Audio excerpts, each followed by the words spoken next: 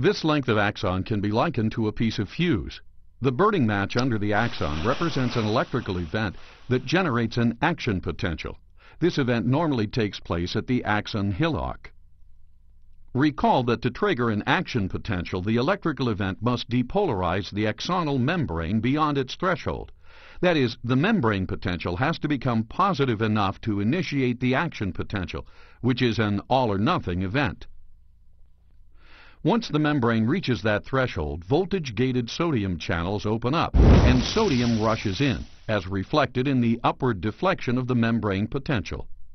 But how is the action potential propagated down the axon? Look at the area just ahead of where the action potential has just fired. It is becoming more depolarized.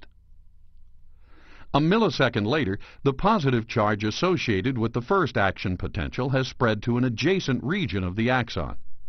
This area reaches its threshold, and this segment of axon fires an action potential.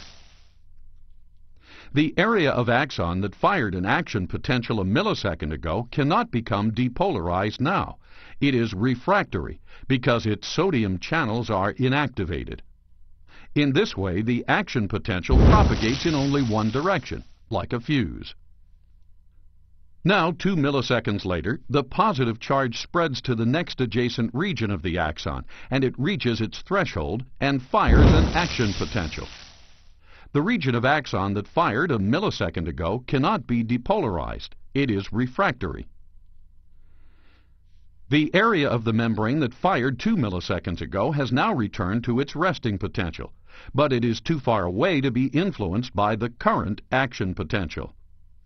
In this way, the action potential migrates, like the fire on a fuse, toward the axon terminal, where it is delivered to another neuron. Now let's watch the whole process at high speed.